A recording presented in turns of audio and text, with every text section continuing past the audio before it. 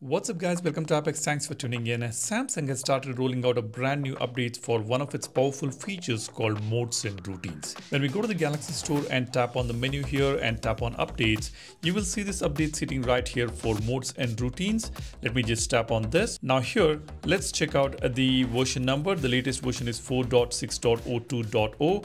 The update date is 30th May 2024 and the size is 54.33 MB. Now if you look at the changelog, it just says fixed a malfunction issue related to side key action. Now this is just a bug fix we have got with this update, but you might be wondering what is this side key action all about? Because when we search for the side key on modes and routines, you are not going to get it. Now let's try to find out how to get this side key option on the modes and routines. Let's go to the settings tap on modes and routines here. Now you see we've got uh, modes and routines option at the bottom. Uh, when we tap on routines, we'll be able to create our own routine. We can just tap on this plus button and uh, select the if condition and then condition. Now if you're new to Samsung Galaxy phones, this is a very, very powerful feature you guys should know about. This enables us to uh, automate the device. We'll be able to execute some features or functions of the phone without even touching the phone.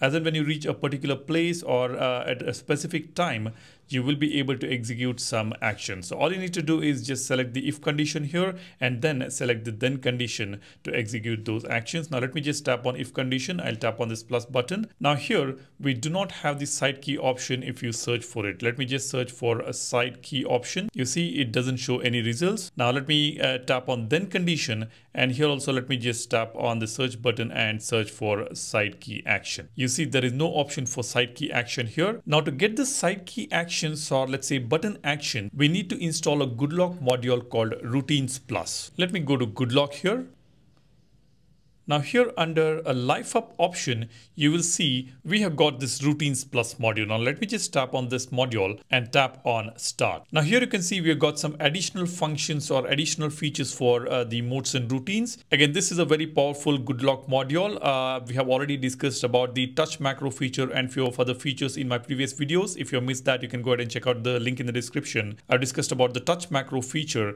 and explained you how exactly this works. And there are also a few other features to back up your modes and routines, transfer it to other Galaxy phone, all that is possible using this particular module. Now, after adding the Routines Plus module on GoodLock, what you can do is you can just go to the settings again and tap on modes and routines. Now here, let me tap on routines and try to create a new routine here and tap on if condition. Now let me just scroll all the way down here. You can see we have got routines plus option. We have got three additional options for if condition. Uh, one is unlock with fingerprint. Second one is S Pen action. And then we have got this button action option as well.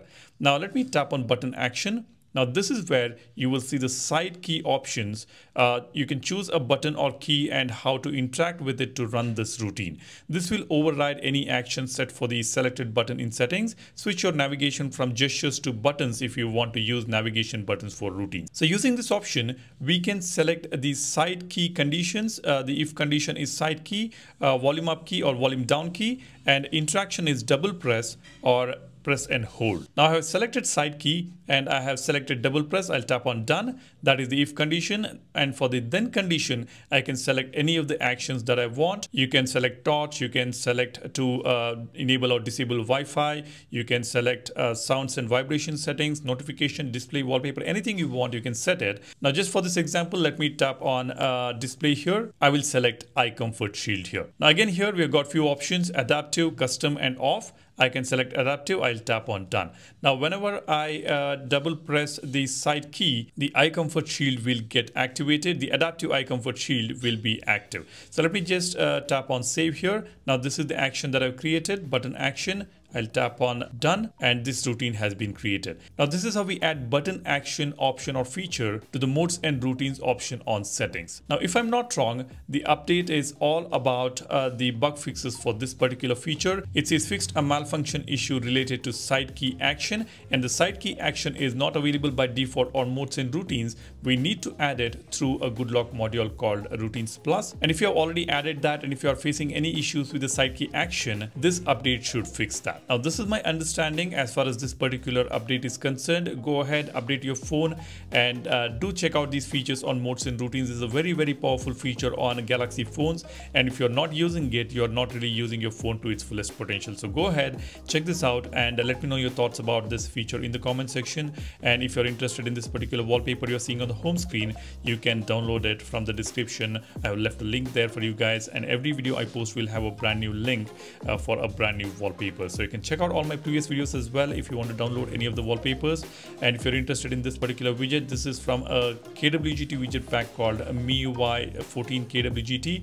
And to use this uh, widget, you need to be a KWGT Pro user. So make sure to buy the KWGT Pro key and then buy these uh, widgets and you will be able to install them to make your home screen look beautiful. Uh, that's all I want to share with you guys. Let me know what do you think about these widgets, the home screen wallpaper, and also this feature. Drop a comment and make sure to subscribe to the and give this video a like if you find this informational. You guys take care and stay safe. I'll see you in the next one. Cheers. Bye-bye.